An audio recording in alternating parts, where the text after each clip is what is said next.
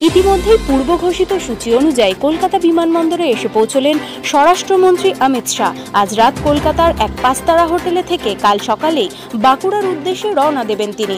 দেখুন চব্বিশ ঘণ্টা লাইভের এক্সক্লুসিভ প্রতিবেদন। হতাশ হবেন না। ছাড়বেন না হাল। এগিয়ে চলুন। আপনার পাশে আছে বিশ্বজিৎ পাল। নিজেকে আরও ভালো করে জানতে হলে আজই যোগাযোগ করুন লাইভ মোটিভেটর বিশ্বজিৎ পাল। আমাদের প্রেরণাদাতা life coach motivational speaker Biswajit Pal.